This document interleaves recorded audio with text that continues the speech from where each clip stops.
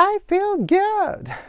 Всем привет! Вот такие приколюхи я могу теперь вытворять со своим голосом. Конечно, это еще не оригинальный, не полноценный вариант, но как отработка сгодится.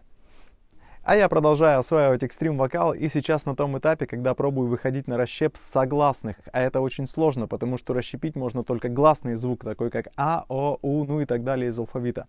И проще всего это сделать на таких согласных, которые еще хоть как-то можно продлить. Например, или или Да, вот здесь опасно.